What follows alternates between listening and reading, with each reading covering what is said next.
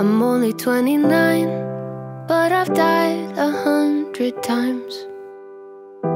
Married way too young, never found someone to love. Yeah, I've watched my hair turn grey, tossed flowers on both my parents' graves, and the night's only halfway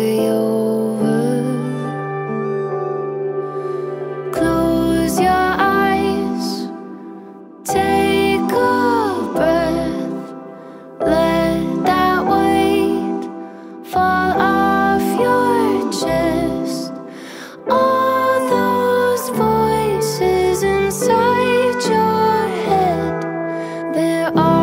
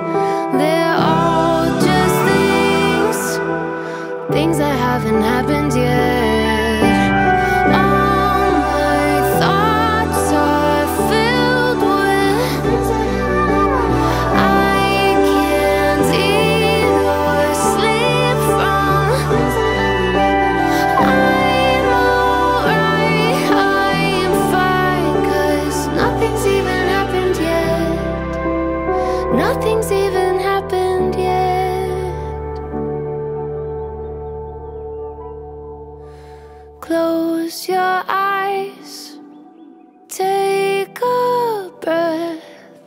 Let that weight fall off your chest. All those voices inside your head, they're all just things, things that haven't happened yet.